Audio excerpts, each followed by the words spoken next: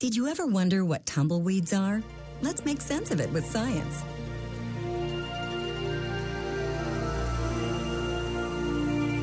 To learn what tumbleweeds are, let's head out to where the tumbleweeds really roll.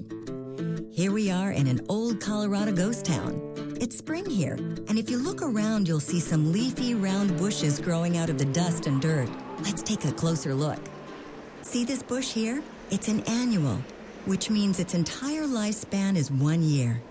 This particular annual goes by the name of Russian thistle, but in these parts, folks just call it tumbleweed. In the spring and summer, tumbleweeds grow like, well, weeds out here. They have a long root called a taproot that anchors them to the ground. And their green leaves gather as much water as the arid climate can allow. Then fall comes, and a tumbleweed's life is almost over. Its leaves and stems wither.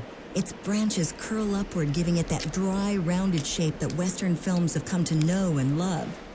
And the taproot that has kept the tumbleweed anchored all spring and summer dries up.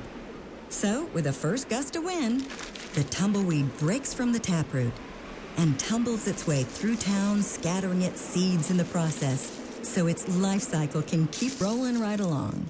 And that's why it all makes sense with science. This has been presented by Bayer Corporation's National Education Program, Making Science Make Sense.